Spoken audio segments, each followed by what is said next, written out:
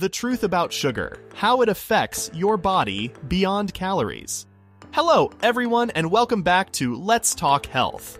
Today, we're diving deep into a topic that's on almost everyone's plate sugar. We all know sugar can be sweet, but there's so much more to it than meets the taste buds. In this episode, we're exploring the lesser known impacts of sugar on our bodies beyond just calories. So, let's get started. Have you ever wondered if sugar is secretly affecting your body in ways you didn't even realize beyond just those pesky calories? Host. Now, we're all aware that excessive sugar consumption can lead to weight gain and dental issues, but did you know that sugar can also wreak havoc on your skin? High sugar intake triggers a process called glycation, which damages collagen and elastin, leading to premature aging and wrinkling. Beyond skin concerns, let's talk about its effect on our mood. Studies suggest a link between high sugar intake and increased risk of depression and anxiety. That sweet treat might give us a quick mood boost, but the subsequent crash can leave us feeling low and irritable. But that's not all. Sugar's impact on the liver is quite alarming. Excessive sugar consumption can lead to 1. A condition called non alcoholic fatty liver disease, which is when your liver accumulates fat potentially leading to inflammation and more severe health issues down the line. 2. Liver function, impairment. 3. Fructose metabolism. 4. Lipid accumulation, inflammation. 5. Oxidative stress. And 6. Increased risk of metabolic syndrome. So, what can you do to manage your sugar intake? It's time for a conscious change. Start by reading nutrition labels and ingredient lists.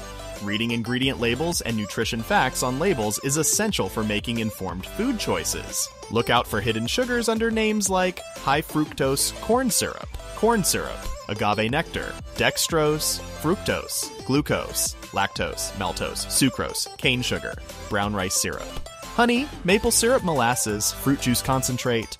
Among these, some are more harmful than others due to their potential impact on health. High fructose corn syrup, for instance, has been linked to obesity and metabolic issues.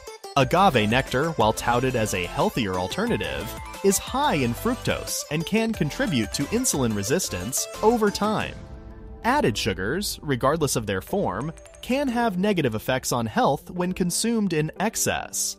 They can lead to weight gain, dental problems, and an increased risk of chronic conditions such as type 2 diabetes, heart disease, cancer, and non alcoholic fatty liver disease. It's important to read ingredient labels and nutrition facts to identify and moderate your intake of added sugars, regardless of the specific name they go by. How to read the ingredients nutrition labels. 1. Check the serving size. The serving size is usually displayed at the top of the nutrition facts panel. This information is crucial because all the nutritional values provided on the label are based on this specific serving size. Make sure to compare the serving size to the amount you actually eat to accurately assess the nutritional content. 2. Calories. The number of calories listed per serving gives you an idea of the energy content in that portion of food. This information is useful for managing your calorie intake and making decisions based on your energy needs. 3. Nutrient content. Pay attention to the quantities of fats, including saturated and trans fats, carbohydrates, including dietary fiber and sugars, and proteins.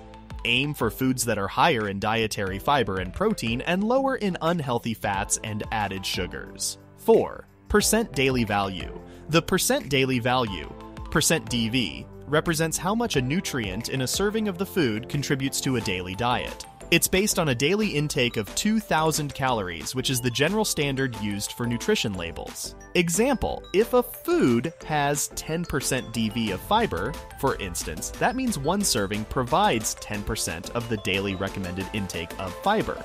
This percentage can help you quickly assess the nutritional significance of the food. Generally, 5% or less is considered low, and 20% or more is considered high. Use this to gauge whether the food is high or low in a particular nutrient. 5. Ingredients list. The ingredients list provides valuable information about what's in the product. Ingredients are listed in descending order by weight, so the first ingredient is the most abundant, and the last ingredient is the least abundant.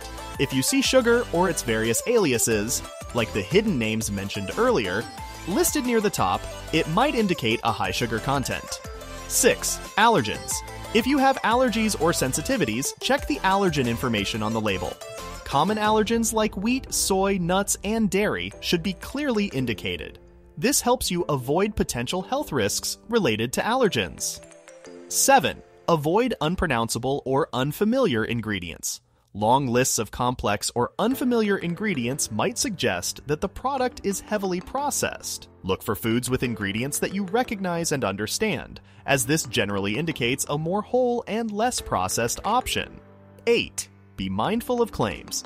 Labels often have claims like low fat, reduced sugar, or high in fiber. While these claims can be useful, they can also be misleading. Always double check the actual nutritional values in the panel to ensure the claim aligns with your dietary goals. 9. Compare products. When choosing between similar products, compare the nutrition facts to see which one meets your health needs better. Lower amounts of saturated fats, added sugars, and sodium are healthier choices. Remember, the goal is to choose foods that align with your health goals. By understanding ingredient labels and nutrition facts, you're equipped to make informed decisions about what you're putting into your body. Let's take control of our sugar consumption together. Tips for improving sugar intake. Here are a few tips to help you on your journey. Opt for whole fruits instead of sugary snacks. They contain natural sugars and other nutrients. Choose plain yogurt over flavored ones. You can add fresh fruits or honey for sweetness. Experiment with spices like cinnamon and nutmeg to add flavor without adding sugar. Try to limit sugary drinks. Water, herbal teas, and infused water are better alternatives. And that's a wrap on today's episode of Let's Talk Health. I hope this episode has empowered you with knowledge to make healthier choices. So let's keep the conversation going in the comments below. Don't forget to like, subscribe, and hit that notification bell to stay updated on our future discussions. Until next time, take care and prioritize your health.